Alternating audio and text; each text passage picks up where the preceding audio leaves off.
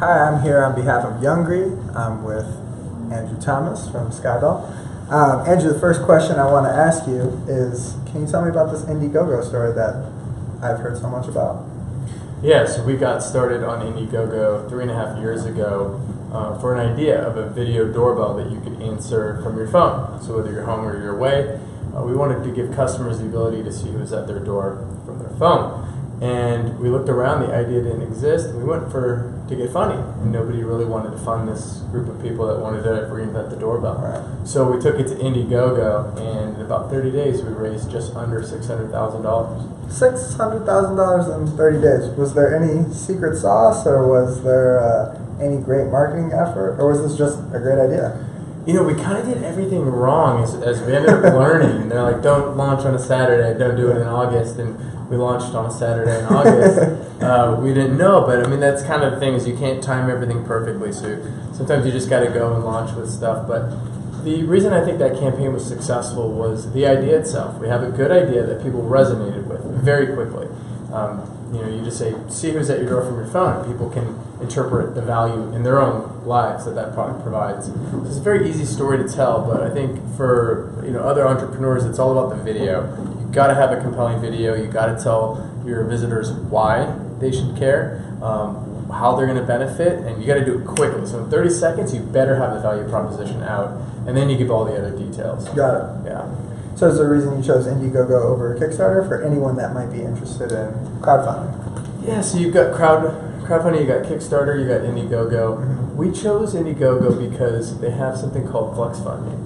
So if you want to raise hundred thousand dollars and you you raise ninety nine thousand nine hundred ninety nine dollars um, on Kickstarter, you get zero. Okay. Uh, on Indiegogo, you get ninety nine thousand nine hundred ninety nine dollars. So that was a big one. Um, it just seemed like, you know, it was the right spot for us, and it ended up we were right. It was they're a great company, great community that they built. So if I did it again, I would I would choose Indiegogo. Got it. And where is Skybell at currently? So currently we have grown uh, to about 28 people. Um, we are, gosh, I mean, it's been three and a half years since our Indiegogo campaign, uh, which is crazy. But um, you know, we're partnered with some of the best companies in the world now: Honeywell, Alarm.com, Comcast, Xfinity Home, um, Nest. It just it's just amazing to think that in three and a half years we've gone from you know this idea to this company um, that is actually helping customers prevent robberies at their front door because they can talk to burglars at their front door, right? Or they can keep uh, packages safe. Um, it- it's just been incredible. So we're we're definitely in our growth stage right now. Mhm. Uh, it's nice to see kind of sales really picking up, but Yeah. um, it's been a heck of a journey. That's awesome. So you mentioned you just partnered with a bunch of strategic partnerships, basically companies. Would you say that that had a big impact on Skybell's success, the hockey stick that you're speaking of, as far as partnering with those types of companies? Absolutely, yeah. Both in terms of you know, some of those partners, once you, you tell people you're partnered with them, they carry weight with them. And our product was able to clear quality assurance with these companies, which is a big deal. So it kind of validates the idea, it validates the quality of our product. Um, but there's also you know a distribution model there. There's there's units involved, so it's a great way to kind of kind of achieve a couple things while also moving units, which is you know, the goal, right? Right. So it's been good. Do you have um, a Skybell on hand that you can show the audience? I do actually. So this is what we Take us through invented and created. It's a video doorbell, and it replaces your current doorbell. And when someone comes up to the door and they press this button, the video camera activates, and it sends live HD video to your smartphone. And at that time, you can see who's at your door, and you can actually talk to them. So say who's there, and we have a speaker and a microphone on this device, and out comes your voice, and you can talk to them. So you can positively identify who's at your door. And you can do this whether you're at home on the couch and you're watching a game or you're reading a book, you just don't want to get the door, or you can know who's coming to your door when you're gone. And statistics show that you're more likely to get, um, your house is likely to get burglarized during the day. And a burglar goes up to your front door, they press the button, they want to know if you're home. So with Skybell, you can actually pretend to be home even when you're not. They don't know the difference. So it's been incredible. That's incredible. Um, literally incredible. It seems like one of those products where you can't believe it doesn't exist already. Yeah. Um, are there any more iterations you can make with the product to make it more technologically sound as time goes on, or is this it? Is Skybell the ultimate form right now? It's definitely not the ultimate form. I mean, this is one version. We started with a circular device, and that was great, but some people didn't have the space for it in their home. And so we had to get feedback from our users in our community, and some said, uh, there's not enough room for this circle one. It's like the size of a hockey puck. Yeah. So we ended up making this version. This is like the second variant. This fits on door trim for when doorbells are on door frames. So there's this one. We have a battery powered version coming out, and then those are the doorbells. And then we'll have some other complementary products that come out. But you know, the thing we learned in our Indiegogo campaign early was that users have a voice, and there's usually good reasons why they want something. And in Indiegogo, we got almost a thousand emails about what customers wanted, how they wanted it, what they didn't want. And so all we did is just check off what they wanted, what they didn't. Mhm. And so we're still doing it. People are like, I want a battery version because I don't have wired power. I needed to fit in this frame. And we listen to our partners. We're really just a, you know, go to our constituents, tell me what you want. Yeah. And then we, we adjust and we make it. You're good at surveying the crowd. That's right. The next iteration. That's, That's awesome. right. I could see a solar powered version at some point. Like Mhm. everything else has to be solar powered with Yeah. your home. Um, so, is this the first venture that you really had success with, or were you in the entrepreneurial phase before this as well? I've been an entrepreneur, but I've never had a high growth, you know, tech startup before. So I was in SEO and online marketing prior, um, and I had been affiliated with a company that was making GPS trackers. That uh, this is like six or seven years ago that people would use to give their kids, put it in their backpack, you could track them with an app, and so that's where I got my first look at a tech startup, and it was something I really wanted to do. And then when we started the doorbell, um, the Skybell, we uh, that was an opportunity for me to become an actual founder. Right. So this was the first time, you know, where your sweat equity is on the line. You don't get paid for, you know, 15 months, and um, you just kind of do the do. And uh, this is this is the first one, so it's been it's been good. So, out of all that, besides the Indiegogo story, are there any stories that you can tell the audience about what it was like to take uh, a company from idea to the original conception all the way through the hockey stick growth profitability, the 600,000 on Indiegogo? Is there a story that you can tell a hopeful entrepreneur out there that is wanting to start a startup and is willing to put sweat equity on the line? Yeah, it, I mean, there's there's millions, right? Maybe just one that stands out. one that stands out. So, I mean, that's kind of the point is that entrepreneurship is millions of moments. Mm-hmm. And a lot of those moments are good, and a lot of them are bad. And you swing, oftentimes, you swing during the day. Like I always tell people, you wake up optimistic that there's, there's no way you'll fail, and you go to bed thinking that there's no way you're ever going to succeed. Like that is startup, and it, and it plays with your mind and you have to be ready for that. And you can have a great idea, and you can have the people around you, and you can hustle and listen to Gary Vaynerchuk and hustle till you're you, you got no fingernails left and just claw. Right? It is his message, but his message I think is more about like the self awareness. You got to get right with yourself and right with your mindset so that you can handle these swings. You got to know: Are you an entrepreneur? Are you ready? Uh, you know, you're going to go high to low super fast. So there's been high moments. The highs have been when we were included in an Apple HomeKit announcement when we were like nine months old and no one knew who we were. You're just like, how how is this happening? And you know, lows is, is when you don't get a deal. Uh, the lows are when you know you have a partner and they tell you that you know your product development's too slow and you're not going out in a first launch or you're not going out at all. Um, these things happen, and I think um, you know one of those moments where you're like, "Are we going to make it?" Um, you know, should I quit? Like that's like every couple months. So, I mean, it's all the time. Was there one low, like rock bottom moment that you can remember? Because there are a lot of entrepreneurs out there who don't succeed right away. Um, and it doesn't have to be a specific story, but Yeah. maybe just an example of something where you kind of hit that bottom point where you need to keep clawing to Yeah. get out of. So absolutely, when we launched our first version of product, it wasn't very good, Mhm. to be perfectly candid. Um, and so it was it was Indiegogo back, right? It was um, we raised six hundred thousand dollars and we made a, a Wi-Fi enabled video doorbell Mhm. um, that goes to the cloud, finds your phone. Like this is a complicated product with six hundred grand, and we did it in four months. So it wasn't perfect. And when we launched that, people were brutal. I was not ready and mentally prepared for how much backlash we were going to get from our customers. And these were people who we thought this, like supported crowdfunding because they wanted to support us as we invented the product and brought it to market, and they were going to be patient and understanding, and they weren't. It was mm-hmm. like this is not as good as my iPhone. They're like, well, your iPhone costs eight hundred dollars. you know, this is a hundred twenty-five dollar video doorbell. That that's how much these people paid to back us, and we're super appreciative. But I wasn't ready for the backlash, and there were times where the inbox was so full with complaints. People people called the cops on us, like they came to our office to find out if we were real or, or a scam. Um, people found out like who was in my family, like my cousins, through, like Facebook and other means. It was it was it was stressful. Our product wasn't ready to go, and so um, we ended up. I looked at my co-founder Greg and, and I said, "Dude, do you want to bail water, or do you want to just wrap this thing up and try to get out?" And uh, we both looked at each other. We knew what the answer was. The answer is fight Yeah. right? And so we did. And so he and I and our other co-founders just picked up the phone and called everybody. Like if people had complaints, we were calling them. So we did our regular job, and then we did this customer service Call job. center. We got on the phone with ourselves. We I heard more f bombs in those couple weeks than I did like my entire sports career. You know, it's like it, people were pissed, but and that and that's a point where like maybe I'm not good at this Mhm. maybe luck's not on my side. Maybe this just isn't going to happen, and that's when doubt comes in. But you, you just have to keep going. You know, at some point, it's just like put one foot in front of the other and keep going. Yeah, absolutely.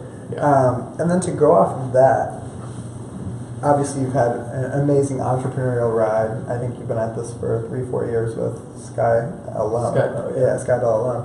Um, so with that being said, in that entire journey, what is the one piece of advice that you would give to the entrepreneurs that might be listening out there? Because as you said, you know, it, it's an up and down period, and there are some times where you have to pivot, wear different hats, make the call center um, entire system work. So, what's that one bit of advice that you'd give to someone that's tuning in right now and listening for that piece of advice? Yeah, you know, there's a ton of advice, and I think there's so much good advice, right? Like Gary Vaynerchuk, and I mean, there's just so many good. Brad Feld. Um, but what I would say is what's helped me personally is detaching um, from the experience as much as you can. And this is maybe a little more mindful and a little more philosophical, but uh, when you realize that you aren't your startup, that's when you know you can be happy. Um, your startup is an expression of your creative power. It is not you. So when it's not going well, it doesn't mean like you aren't worthy or you aren't smart or whatever. And when you take the meaning of your startup and you apply it to yourself, that's when you know things start happening.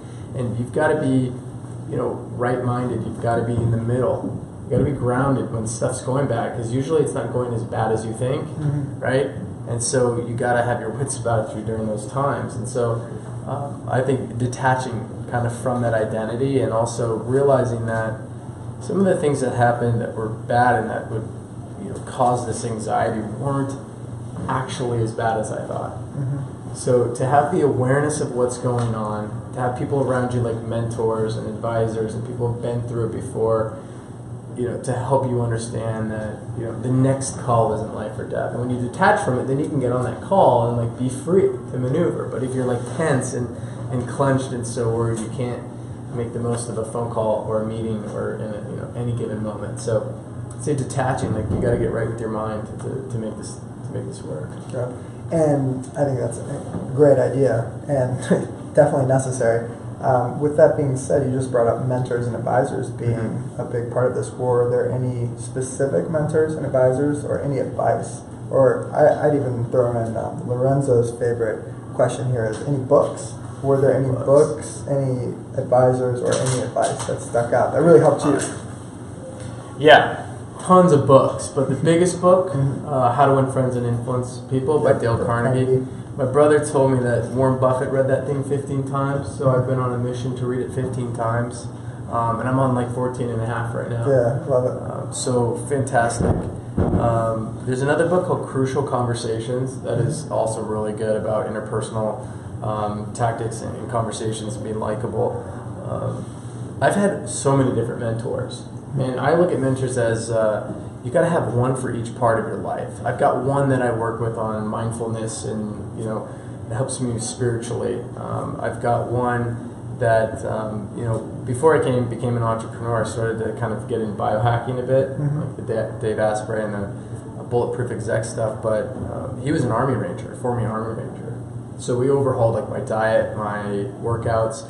I was able to get like twice as effective workouts. Um, in instead of working three times a, a week for one hour, I was doing like three times a week for forty minutes. Wow. And it just got ripped and just felt so powerful. We overhauled my diet. That helps your cognition. I went from working like eight hours a day to being able to crank out 15 hours a day easy, like seven days a week. Wow. Um, and so that was a really good experience. Um, the best advice I got from any one mentor is when I was 24, 23, 24, I'm 32 now. Um, my mentor told me that he's like, the money that you're going to use to, to make your big, um, you know, your big win, your big hit, isn't the money that you have in that moment. And he's like, keep playing your hands, like keep chips on the table. That's all you need to do. Like, don't worry that you don't have this big, you know, ton of money. Just keep putting chips on the table. Keep playing little games, Mhm. and just stick around. And he's like, you're gonna grow and you're gonna grow, and then you're gonna be in a position where you can really make move, moves. Or, and I interpreted that the way that played out is when we needed to not make money for 12 months, I wasn't sweating it because Right. I had been saving, I had been keeping my chips on the table, and I wasn't like sweating it. And I was well positioned so that when Skybell hit, I could work for 12 months and not sweat it without getting paid. And like that ends up being the money that I'm gonna end up making this victory with or this hit. So, you know, people get get lost in that game. All I need to do is just keep playing hands, as, as he said. So um, that was good advice. You know, that's really the the stand up you know business advice. So um, that particular mentor, every time I call him and tell him some mistake happened or we got burned or throughout my entrepreneurial career, he's always like perfect. Like if I got ripped off by somebody or a deal went south, he'd be like, "Oh, it's a, who cares that you lost ten thousand dollars? At least you didn't keep doing business with them. It was a hundred thousand. Yeah. And you always looked at things like that, and you're like, "Wow, okay, ten thousand dollar lesson, like perfect." Done. That's going to save me a hundred grand Yeah. in some amount of time. So your failures are your your successes, and it's just a way of looking at it, That's a right? very positive way to look at it. Yeah. And, uh, you've brought up mindfulness a couple times now. Um, can you speak to what that means to you as far as the spirituality and how that, uh, how entrepreneurs should really align themselves with that concept as well to grow as well as in their business? Yeah, so I believe that your ability to be a good person allows you to be a good founder. And um, I, I believe in that, you know, when your mind's right, your body's right, your spirit's all aligned, like that's when really good stuff happens. And so mindfulness to me is, is more about, you know, understanding that that you are, you know, on some level removed from all of this. Um, when you realize that you are part of the universe, when you realize that you are made of energy, and you have this inherent, you know, you're part of the universe, right? You're bigger than than, than just your startup or you or the person you're negotiating with. You you get this like non-attachment. It's not detachment. It's a non-attachment, and it reduces your fear. It reduces the anxiety that you experience. And so for me, like tw- like five years ago, when I was about 25, 26, I was very anxious. Um, I hated what I was doing. Um, my life just wasn't good. It was in a negative spot. And I turned it all around through the power of positive thought, meditation, and studying mindfulness, Taoism, and all these sorts of things. And what I learned is that I was attaching to too many meanings. Like, I am a failure if blank happens. I am a, a smart person if Y happens. And it, it- when you let go of those attachment to meanings, you lose fear. Because if you're, like, I was very merit driven. So I needed to achieve to feel worthy or feel good about myself. Mm-hmm. Well, if I didn't achieve, then that was a reflection on me as a person. But that shouldn't happen. And when you cut that connection, you say, this failure is an experience. It's just what happened. Mm-hmm. It has no reflection on me. Then you're free to like really make maneuvers in your life. You're not scared about taking chances. You're not scared about making a video doorbell company that fails. And you know, my face was on crowdfunding on Indiegogo. If Skybell failed, it was going to be all me. Like all my co-founders are hanging out like behind the couch. Like they're not in front of the camera. No one knows. When you remove that fear, like you get to do anything in your life. You get to walk into like your creative power, your creative freedom. So that's what it's about. It's about like for me, the way it materializes. I'll give you an example. Is we negotiated against um, a company, and they tried to use their size and their power against us. And you know, someone said, "How did you negotiate that deal?" And I said, "You know, it boils down to the realization that there's nothing that they can really do to harm me. Like they can not close a deal with us, and Skybell could fail. But at the end of the day, what does that do to me as a person? Mm-hmm. Really nothing. Like, I'll go start another company. I'll start an online business. I'll start a personal brand. I'll go travel the world for 12 months. Like, there's nothing that it really, at the end of the day, is going to do to harm me as a person. It's tough to beat that. Right? Yeah. So when you go and you have that, you can tell people no. Right? You don't have to feel like you're pressured to do a, do a bad deal. You can say no. Mhm. And if they say no and they walk away, someone else is going to come, someone else will pop. Like, so it's all about fear. It's getting rid of the fears that keep you from making bad decisions They're coming from a mindset of lack instead of a mindset of opportunity, Mhm. right? So, I don't know. That was probably like the worst way of answering it. Did that I think, make any sense? I think those are life lessons. Those are some serious life lessons. Oh man. So yeah. that's that's kind of what it's all about. But I think you got to be a good person. You got to be um, you got to be have a sense of mindfulness and a sense of awareness, right? Um, and you do have to work hard. And the, the other thing that I would, if this is advice, is I call it magic. Cultivate your magic, especially when you're young. Your advantage when you're young is you can, like if you're 23, you can go walk up to anybody. And, and they'll love it because it's like, oh, look at this ambitious 23 year old. Like, Yeah. they'll do anything for you Right. like make introductions meet people don't be scared to just get out there create magic magic is like you and i have now met right Mhm. and if i need something in my life like you might be the person to intro You can on right it. that's right that's it. you got my back but like magic's like connections Mhm. and it helps you accelerate your growth like the more people you know and the more favorable that they feel when they think about you you're gonna you're gonna move faster than the person that tries to do it on their own Yeah. it isn't making connections it isn't making meaningful relationships so pump the magic you know Pump make magic. time for magic i wish i had done more of that when i was 25 26 yeah And the last question I have for you is obviously given kind of a blueprint for aligning mindfulness with your actual business life. And Mhm. you, you've illustrated that when you're at peace, as far as not having fear, being ambitious, going out, creating that magic, you really align yourself for success. hmm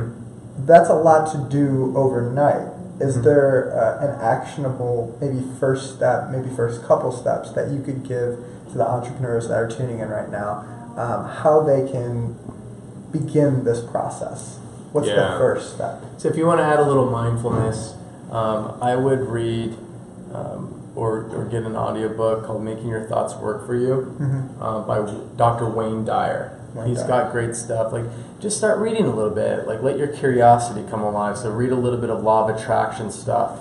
Um, you know, the other um, you, you, TED Talks are a great way to do it. So, when I was making this sort of transformation, for lack of a better word, um, TED Talks from Matthieu Ricard were big.